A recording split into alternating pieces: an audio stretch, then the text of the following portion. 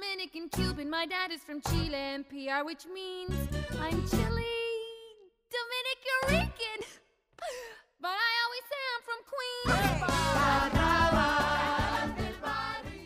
In the Heights was a show about the Latin experience. I don't know, it's just a sense of love, I think, and community in just the Latin culture. And, and to be able to portray that on stage was just really wonderful. And there was a part of me in a story and in a music that's not normally seen on Broadway. And that was really wonderful to see that. And being a part of the In the Heights creative team is, is a huge honor. And it's something that, you know, it's hard to top something like that. That is musical polymath, Alex Lacamoire. And this is Artworks, the weekly podcast produced at the National Endowment for the Arts. I'm Josephine Reed. Alex Lacamoire is an arranger, musical director, orchestrator, conductor, and musician. Probably best known for his collaborations with Lin Manuel Miranda in The Heights and Hamilton. A graduate of the Berklee College of Music, he began his career on Broadway as musical director of Bat Boy the Musical. He worked extensively with Stephen Schwartz on the national tour of Godspell and on Broadway with Captain Louie and Wicked. But it was his work with Lin Manuel Miranda that brought him a Tony Award for Best Orchestration for the musical In the Heights, making Alex the first Latino to win that award and the first Berklee graduate to win a Tony. Alex followed that with a Grammy for Best Musical Theater Album for In the Heights and repeated the process in 2016 with the Tony and a Grammy for Hamilton. I spoke with Alex Lacamoire in a New York City rehearsal room. He had spent the day working with the Chicago cast of Hamilton to prepare them for their opening, and he would spend the evening, as he does every evening, serving as the show's conductor on Broadway. Yet he was extraordinarily gracious and generous with his time. And as you'll hear, we spoke until we were thrown out of the room because the building was closing. There was a lot to talk about. First of all, again, thank you. Oh my God, thank you. But I need to begin with the basics, and I'm going to sound like a complete moron. But I'm just going to put it out there. I'm sure you won't, but okay, go ahead. I really would love to tease out what an arranger does versus a musical director versus an orchestrator. Sure. I'm, That's a very good question because they're all uh, very different jobs. And there are certain music directors who do all three things, and there are certain people who only do one of the three, but they're- can all be related. So, in terms of a music director, that to me is just kind of uh, the job of just directing the music of the show, meaning teaching the music to the actors, rehearsing the band, possibly conducting the band, being the liaison between the composer and the cast. You know, just the kind of mechanics and the, the management side of things. Then for arranging, that to me is kind of about the big picture of a song. Things such as trying to see if the key is in the best place, wondering if the tempo is the right tempo. Uh, you know, this is all based of, on, off a composition, for example. So you'll have the song composed, but then the arranger might say, hey, you know what would be good for this? Let's have like three backup singers singing a harmony at this bar and that bar. And how about we add a couple of extra bars of music at the end just to give a nice satisfying payoff so that the audience knows when to clap? So, you know, adding things like that, maybe deciding if there's a moment where the entire band drops out to highlight a certain lyric or deciding that things, uh, you know, that the piano part should sound like this or like that.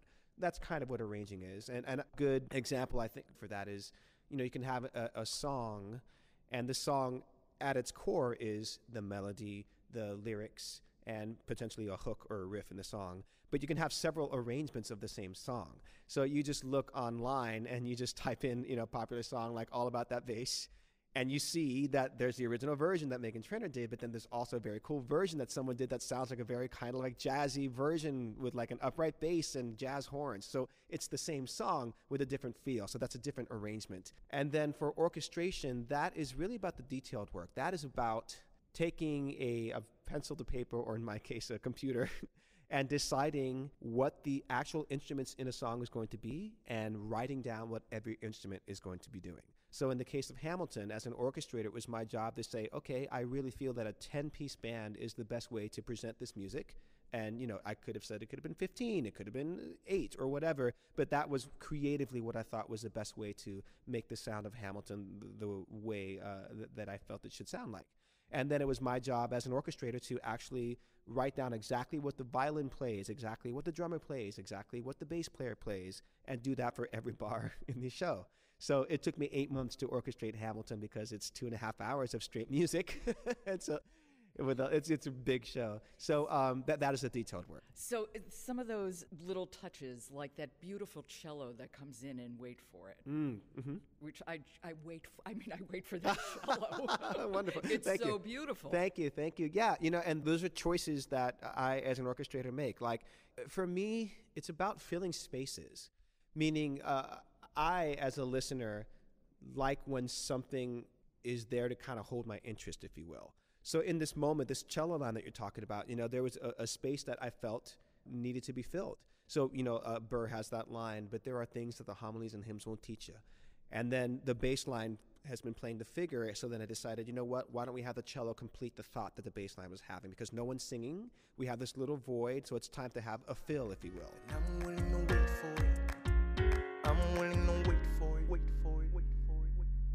Grandfather was a fire and brimstone preacher. Preacher, preacher, preacher. But there are things that the homilies and hymns won't teach ya. Teacher, teacher, teacher. My mother was a genius.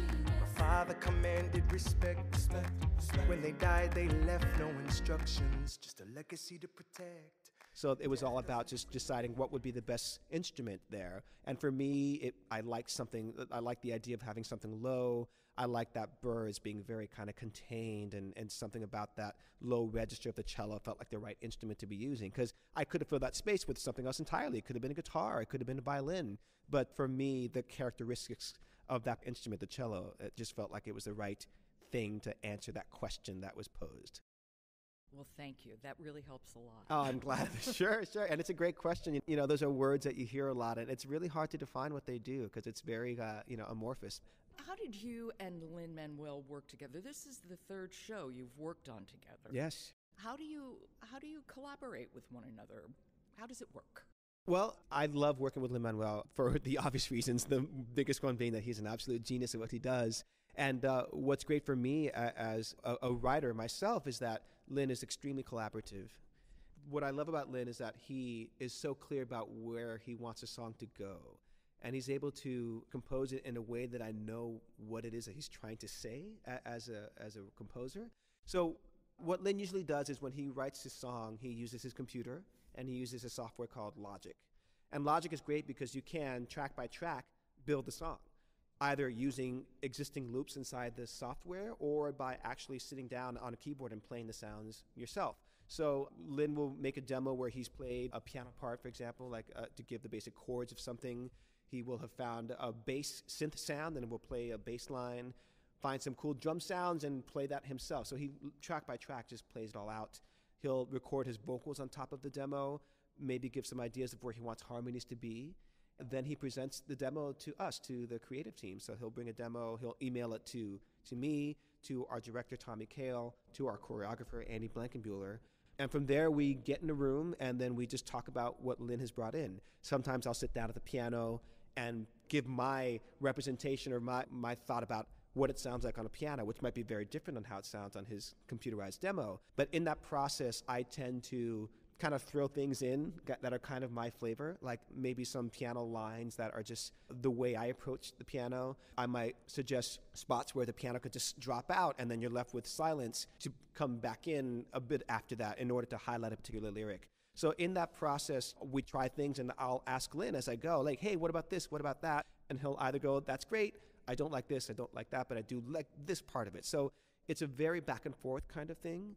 And what's great is that Lin, I feel, trusts me enough that he doesn't need to be kind of like looking over my shoulder at everything that I do. I can present him a demo of my own along the way, or I can have him come into the room after I've taught all the vocals for a song for him to approve all the harmonies I've done. And I'll have him sit next to me while they're singing, and I'll be like, do you like this that they did? He'll be like, yeah, that's great. And, you know, if, if he hears something that he doesn't like, he'll be, yeah, let's look at that. This is why this is working for me. And then I'll say, well, what about this instead? And then he'll be like, yeah, that's great. So it's a, a back and forth that I love because it just feeds off each other.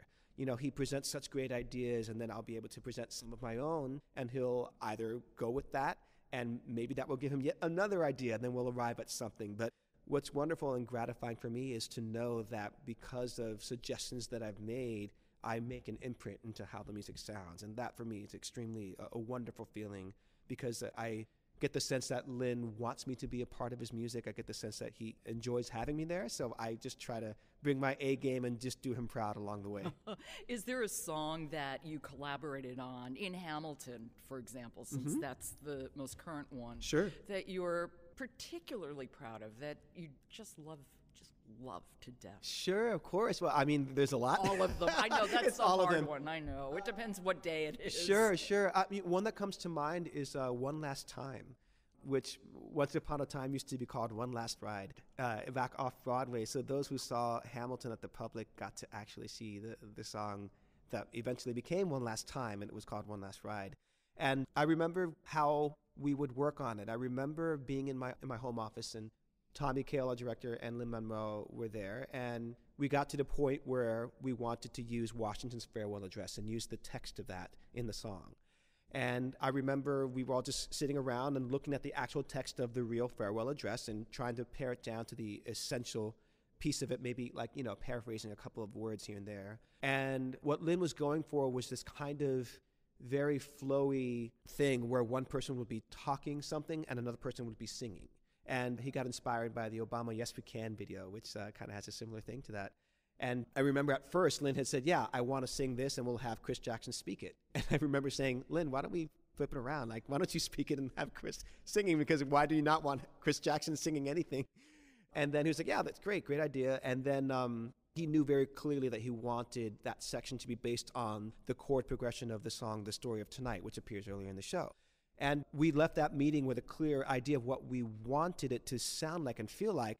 And then basically from there, they had left, and it was just me in my room with the computer and just sitting down at the piano, looking at the phrases of Washington's farewell address and setting them to notes. And in my head, I was thinking to myself, you know what? If Chris were here, this is how I think he'd sing this, and this is where I think it fits really well in his voice. So really, phrases like, you know, I anticipate with pleasing expectation that retreat in which I promised myself to realize the sweet, et- et cetera, et cetera. That was me channeling Chris Jackson, actually, you know, writing down notes that I thought would sound good in his voice. And uh, fortunately, they did resonate with Chris, and he did like them, and that's what became part of the song. I anticipate with pleasing expectation that retreat in which I promise myself to realize the sweet enjoyment of partaking in the midst of my fellow citizens. The benign influence of good laws under a free government, the ever favorite object of my heart, and the happy reward as I trust of our mutual care. the shape of that in terms of how many measures of music fit certain parts of bars, that was something that I came up with myself and presented it to the boys, and they would be like, "Yeah, that works." Um, same thing with the ending, you know, of One Last Time. That was um, it used to for a moment end with a wordless vocal, and it had this beautiful line that Lin had written that was just on a da da da sound, da da da da da da, and uh, that's what the ensemble used to sing they no longer sing that. That line itself is somewhere in the strings earlier during the farewell address. And I remember thinking, you know, Lin had come up with that great phrase, George Washington's going home. And we had we were using it earlier in the song. And then I thought to myself, Lin, instead of a, a wordless vocal, what if, if we used the lyric?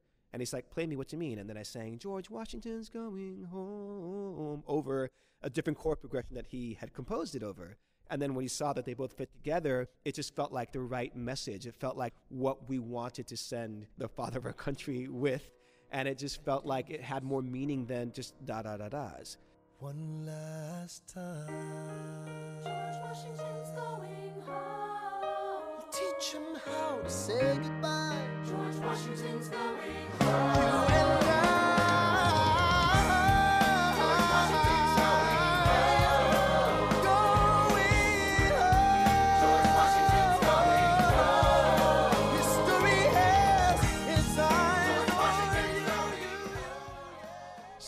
that's just an ending and a whole section of a song where I feel like, again, you know, those were things that Lin had kind of said, here, here are the ideas that I have. These are all the different motifs. These are all the different pots on the stove. And me being like, okay, well, here's the meal that we can make out of it. Why don't we put it all together in this way? And uh, that, that's a song that I'm particularly proud of. Oh, yeah, I would be too. I love that song. How did you come to music?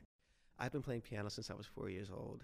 It's just Was your family musical? You know, my parents weren't, they don't play any instruments. You know, legend has it that I was a kid at two years old, like sitting in front of a stereo speaker, staring into the speaker as music was playing, just transfixed, just transported. And there was just something about music and sound that just always called to me. Yeah, I just uh, started playing piano since I was four and I, I've never looked back. Did your parents get a piano for you? Yeah, uh, I had a toy piano. There was a very popular song at the time called Music Box Dancer. And I just loved it. It was actually an instrumental pop song where the piano takes the melody. And I remember having my toy piano trying to play Music Box Dancer on this toy piano. And I don't know if I was playing the right notes at all. I know it was definitely banging in rhythm. But uh, because of that, they were like, ah, just give the, give the kids some lessons. And uh, I had a couple of lessons uh, with a couple of teachers. And I, do, uh, I was told a story when I was older that uh, one of the piano teachers actually, after having a couple of lessons with me, called up her own piano teacher crying because she's like, I don't know what to do. I've taught this student everything that I know, and he knows more than me now. I, don't, I gotta pass him on to you. and this is when I was like, I don't know, five or six or something like that. So I, I guess I, ha- I was very precocious and, and uh, enjoyed the instrument. Both your parents are Cuban, but they met in the United States. They met in the United States. I know. It's, it's you don't usually hear that happening in that In way. LA. In LA, not in Miami, which is funny. Then they did the right thing and moved to Miami. Yeah, I think that was the right thing for all of us. Yeah, yeah. I mean, you know, they, they gave LA a try, and God bless them. And, you know, we had family out there trying to guide us along the way, but we had more family in Miami, and then it all just like, kind of clicked in that way. Did you grow up listening to Latino music a great deal? Cuban music is, is so powerful. Oh, it's extremely, yeah. It's so rhythmic and, and it's trance like in, in a way. Yeah. But no, you know, I wasn't, when I was young, I was way, way into pop radio. And I learned my classical pieces, but in terms of what I listened to, it was like top 40 all the way. Like, especially, you know, when I was in, L- in LA in the early 80s, like Culture Club, Thompson Twins, you know, Wham, whatever it was. and so I really was, was more keen to that music. And then when I got to Miami, that's when I started listening to Latin music, but not by my own accord. It's just like it was on at the parties that I went to. So really, in Miami, you go to a Christmas party or a Thanksgiving party, there's salsa blasting for four hours. So just being around that stuff, I didn't realize that I was paying attention to that music, but I was definitely subconsciously paying attention to that music because when it came time to orchestrate in the Heights, I knew so much that I didn't know that I knew. Yeah, that's and uh, it's like I, I automatically like once I got a couple of tips and read like this amazing book about how to arrange for salsa. I'm like, oh yeah, I know all this stuff. It was stored away in my brain somewhere just by the exposure of it. So um, you know, I would listen to more Latin music more during In the Heights in preparation for orchestrating the show. But uh, by no means was I a connoisseur of, of, of Latin music. At least not the way my sister is or, or my my family is. In the Heights, does that have a special place in your heart? Because it's a Latin infused musical created by Latinos Sure. about Latinos in a Latino neighborhood. I mean, Absolutely. it's super special. And, you know, uh, there's no other show quite like it. And I think what you said is what's really uh, something that was really wonderful for us was yes, it was a show about the Latin experience written. You know, there were people on the creative team who were Latin. There are other shows that try to portray the Latin experience, but there aren't Latinos in, in the creative team. I meaning like Capeman or West Side Story, for example. And uh, I don't know, it's just a sense of love, I think, and community in just the Latin culture, and, and to be able to portray that on stage was just really wonderful. And just to, you know, there was a part of me in a story and in a music that's not normally seen on Broadway. And that was really wonderful to see that. And being a part of the In the Heights creative team is, is a huge honor. And it's something that, you know, it's hard to top something like that. The set, there, there are many wonderful, wonderful things about In the Heights. You know, the score, the music, the orchestration, the Thank you. cast. Sure, thank you. Yes, everything. everything, of course. The set was kind Amazing. of jaw dropping. Oh, wasn't it great? Yeah, Anna Louizos did our set, and she did a fantastic job with that. I remember that her and Lin and Tommy would just take trips around Washington Heights, just like looking around and being like, oh, look at this, look at that, and just getting that feel on stage. And my wife was born and raised in Washington Heights, so she saw that set, and she was like, oh my God, like, this is no joke, but my wife, uh, you know, the apartment she grew up in in Washington Heights, the view out her window was basically our set. like that view of the George Washington Bridge. And, you know, th- th- that's someone from the hood who like says we got it right. So that's nice to know that we had that piece of authenticity there. Do you have a special moment in that play that you particularly love, either in the creative process or the way it finally appeared on stage? Oh, that's a great question. Yeah, you know, Carnival comes to mind, which is a great song. And that's a song that underwent a huge transformation, I feel, not only from its workshop phases into what we ended up with, but even between the off Broadway phase to the Broadway phase, that song was very different. And there was a whole chunk of that song that didn't exist when we were off Broadway. That whole section about that, uh, Usnavi saying, you know, I'm gonna fly this flag that I got in my hand. That whole Parriba esa bandera, that whole refrain of Parriba esa bandera, Lin wrote that, you know, in the fall before we got to Broadway. And I do know that even the ending of that song we were a little stumped because it didn't quite end in a way that felt satisfying. And our producer, Jeffrey Seller, and, and Kevin McCollum had said the same thing. They just felt like the number wasn't like paying off. And I remember being in a room here in this very building at New 42 uh, on the sixth floor, in the back room, just all of us just kicking around ideas of what it could be. And Lin referenced the end of America on West Side Story, how the music just kind of like kind of spirals and gives you like and with that just somehow we kind of unlocked the key that ended up being the last eight bars of Carnival that wound up being the finale of that song as we have it now.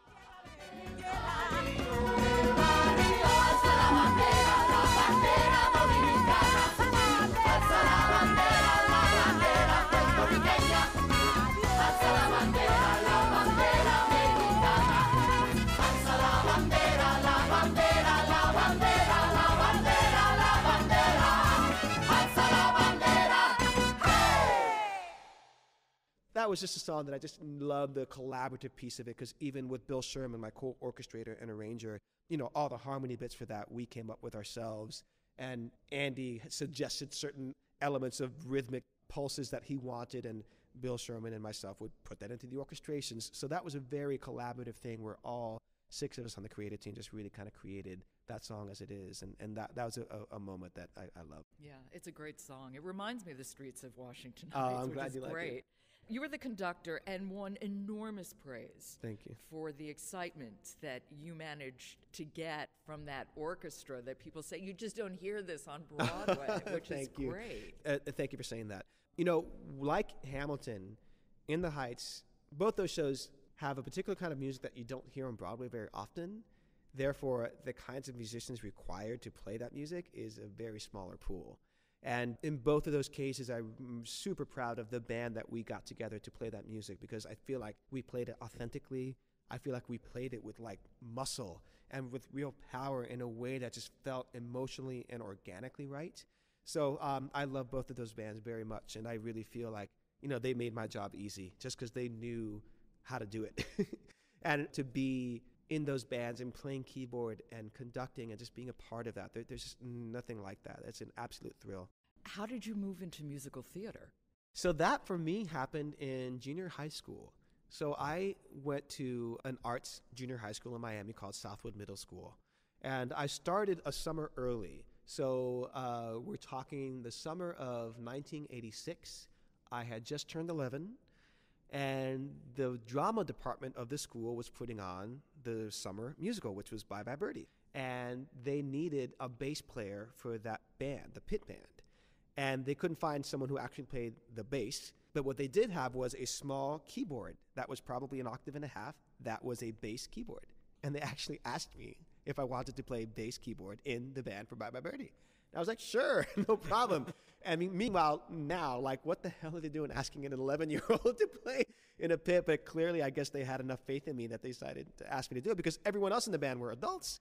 Uh, or, you know, there were some high schoolers as well in, in the band. Um, but I was like this 11 year old, like, nerd playing this keyboard. And something about seeing peers of my age on a stage singing a song, being in costume, and performing something and in that collaborative community way, it just really spoke to me.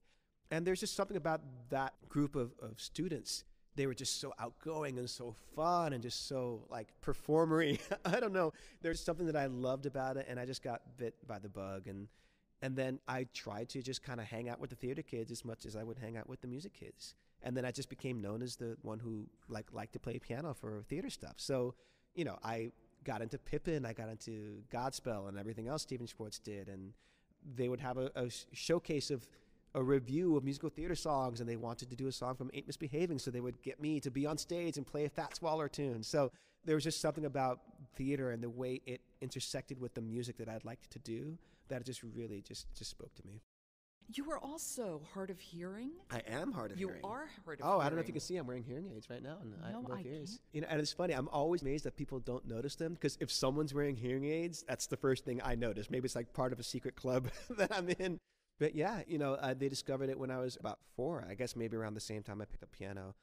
My parents got me hearing aids, and at the time, those were the, you know the only kind that were available were those huge behind the ear suckers that just like are behind your earlobe, and I was very very self conscious about them. And you know, uh, we didn't have a lot of money growing up, and I remember one time I either broke one or a new model came out, and we could only afford for me to have one, so I would walk around with one hearing aid. And in junior high school, I was that's when it's so important to be cool. And I got so many questions about what's that behind your ear, and I'd be like, uh, nothing. So I stopped wearing it. I went through all of high school not wearing hearing aids, and you know, feeling very bad for all my friends who had to repeat everything for me three times because I couldn't hear it. Once I got to college, I'm like, you know what? Enough is enough. I need to start hearing what's happening in well, the world around me. Berklee. Exactly. By then, the you know what they call the in the canal earring aids were much more available. That was the new technology. So these are the kind that I wear that I wear that go kind of way more inside the ear. You don't notice them unless you're really looking for them. You don't notice them at all. But what's great is that the hearing loss that I have, it's mostly like in the high frequencies. So you and I will be listening to a stereo. I will still hear that stereo, but like I hear it at a lower volume than you do. So you're going to want to probably lower it at the point where I'm going to want to raise it. The same thing with higher frequencies like consonants and hi hats and triangles. Those kinds of things I don't hear very well. As a matter of fact, one time we were mixing uh, an In the Heights record, and I, I remember saying to the mixer, I'm like, uh, can we turn up the triangle there? Okay, he turned it up. I'm like, I don't hear the triangle. Turn it up, please. And he turned it up. I'm like, guys, where's the triangle? And then everyone in the room looked at me like, Alex, if we turn up the triangle any louder, this song would be a triangle concerto. it was just a frequency that I just don't pick up on. So for that kind of stuff, I just leave to other people and be like, uh, you tell me if the triangle's in a good place because I'm not going to be the best judge of that. But uh, fortunately, you know, I do hear the big picture. If I'm not wearing my hearing aids, I can still play the piano and hear it all. You know, I can still listen to music with headphones and hear it all. But my frequencies on the higher end might just be a little kind of uh, compromised, if you will. If you had to guess, do you think because you're hard of hearing, you have that focus? You listen so you can listen so intently. I think so. And I don't know. And it's funny, I've asked myself mean, that same knows, question. but- And who knows? Yeah. I think part of it, yes, absolutely. I, I think I, I am more attuned to certain things because I, like you said, I listen harder, more intently. But at the same time, I do feel like my brain just sees music in a mathematical way, if you will. Like when I'm reading sheet music, like I see a chart. Like I'm not looking at a staff and look at a chord and be like, that's a C and that's an E and that's a B. Like I see a shape. And my hand knows how to read that shape in such a way that I am not reading particular notes, but I'm seeing design, if you will. So I, I know that I've definitely got that OCD quality, you know, from, I think that's kind of a prerequisite for being an orchestrator anyway. I do feel like, yes, it's part of it is the listening thing, but also visually, I see music in, in a certain way that just has uh, shape to it. Oh, yes, yeah, they're going to lock us out in a few. Oh, okay. okay. One, one more question? Yeah, one more question. Tell me about Carmen Jones. Oh, sure. Carmen Jones, I'm really I've been having so much fun working on that. That's a piece that's basically an adaptation of Carmen, which we took a lot of cues from Oscar Hammerstein's adaptation of Carmen, which is Carmen Jones, which came out, I believe, in the 40s.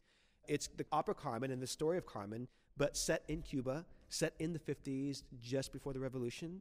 And every song in the show tries to go through some kind of Cuban filter. So the the habanera has like a cha cha cha feel to it. The um, the gypsy song has a kind of like an Afro Cuban style called cha cha loca fu. So it kind of goes through that. We we take a song that's a ballad in the opera and we turn it into a danzón, which is a very popular Cuban style. So I had a lot of fun working with my co-arranger Edgar Vero, who's a brilliant genius Cuban jazz musician. We just basically like looked at every song in Carmen and and we decided, okay, for this moment, this is the kind of Cuban feel that we can adapt to us that feels right and feels organic and serves the story in the right way. And we wound up not repeating ourselves at all. We wound up being able to use like every Cuban style that we could find under the sun, and, and it makes for a really exciting interpretation of that score. And when can we look forward to it? Hopefully soon. We don't know. We, we put it up in Paris uh, earlier this year. It, it was a, a huge hit over there. So hopefully there'll be a chance for another life. Fabulous. I look forward to it. Thank you, Alex. Oh my God, thank you. That's arranger, musical director, orchestrator, conductor, and musician, Alex Lacamoire. You've been listening to Artworks produced at the National Endowment for the Arts. I'm Josephine Reed. Thanks for listening.